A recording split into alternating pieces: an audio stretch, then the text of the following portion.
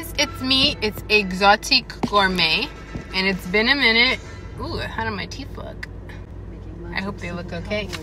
It's been a minute. Let me turn down the radio. And so today we're going to be doing a couple food reviews. The first one is Mr. John's Spicy Plantain Chip. It's a French Canadian brand.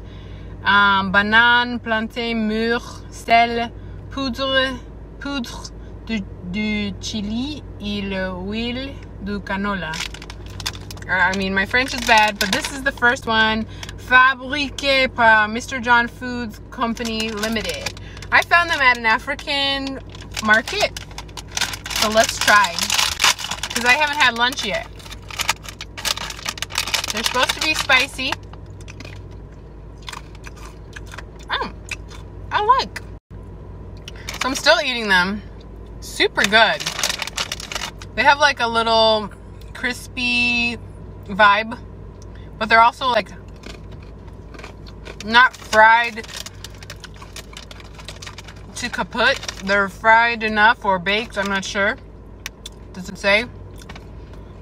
They still kind of have like your teeth sink into them. They're not just like crash, crash, crash. And they're ripe and spicy. So they're kind of sweet plantain and then spicy on top. Mmm. Really nice.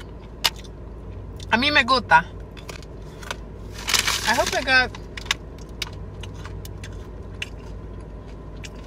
Mm. A mí me gusta.